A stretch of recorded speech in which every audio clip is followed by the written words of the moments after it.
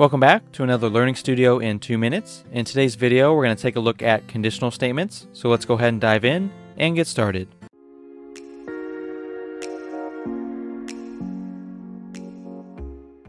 Alright, so let's go ahead and get started. So conditional statements are just if-then statements. And what they're going to do, it's going to check to see whether a statement is true or false. If that statement is true or that condition is true, then you can run some code as a result. So in this case, we're going to be using a for loop to loop through all the different objects in the workspace. And the first thing that we want to do is use an if statement to see whether the object is a part or not. So we can do that by saying if. After the word if is going to be the statement that's either going to be true or false. So we're going to say child, and then we're going to say colon is a.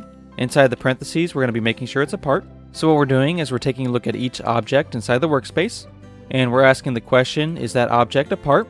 So that can either be true or false. And then if that's true, we can do something inside the if statement. And let's just do something simple. So let's just say print and child. All right, so let's go and run the code and check it out. So down here in the output, it printed all the objects that were parts. So we have the base plate and then the parts 1 through 6. Let's go and take a look at another example for conditional statements. So now what we're doing is we're using a second if statement inside of the first one.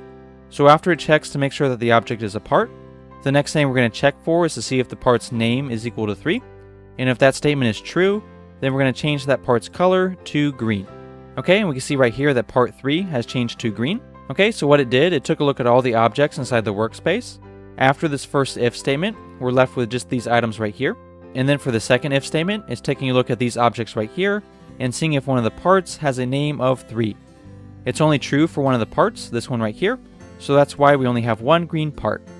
Okay, so just as a quick recap, conditional statements or if-then statements have two different parts. It's going to have a statement that can be true or false, and then if that statement is true, then it's going to have some action that runs as a result. Alright, so that's going to be it for this video. I hope you enjoyed, and stay tuned for the next one.